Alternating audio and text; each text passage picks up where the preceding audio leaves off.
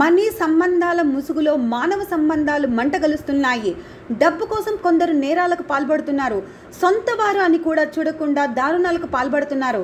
తాజాగా పశ్చిమ గోదావరి జిల్లా ఈస్ట్ గోదావరి డిస్టిక్లో జరిగిన పూజారి హత్య కేసును పోలీసులు ఛేదించారు. ఆస్తి తగాదల కారణంగా దారుణంగా హత్య చేశారని వెల్లడించారు. ఈ కేసులో ఐదుగురు నిందితులను అరెస్టు చేసినట్లు తెలిపారు.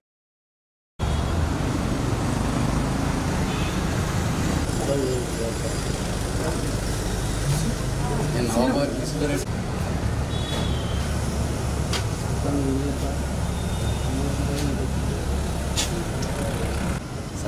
మండలం ఆడిమల గ్రామానికి చెందిన గ్రామ శివాలయంలో ఉన్నటువంటి శివాలయంలోని శివాలయం వెనకాల ఆ గ్రామ అర్చకుడిని కిరాతకంగా చంపడం జరిగింది.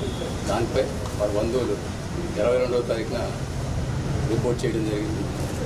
దానిపై eighty two by two thousand twenty two under section three twenty two murder కేసుగా case నమోదు చేసి దానిపై దర్యాప్తు చేయడం జరిగింది.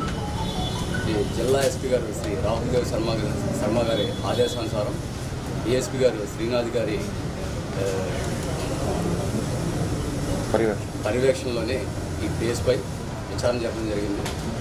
ఈ విచారణలోని సొంత తండ్రి కొడుకు అన్నదమ్ములిద్దరికీ గ్రామంలో ఆ వారికి ఉన్న ఆస్తులపైన వివాదాలు ఉన్నాయి.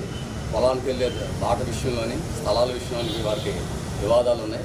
ఆ వివాదాల పరిష్కారం కాకపోయేపటికి దాంట్లోని తమ్ముడు కొడుకు దానిపై అక్కసు పెంచుకుని పెద్దనాన్న కనుక అడ్డు తప్పించినట్లయితే వారికి సులభంగా ఉంటుంది అన్ని విషయాలని చెప్పి ఆయన పథకం ప్రకారం కొంతమందిని తన దగ్గరికి వచ్చి జాతకాలు చూపించుకోవాలి జా- జాతకాలు చూపించుకునే వాళ్ళని సహాయం చేయమని కోరుకుని వారితోని ఈ ప్లాన్ చేసుకుని హత్య చేయడం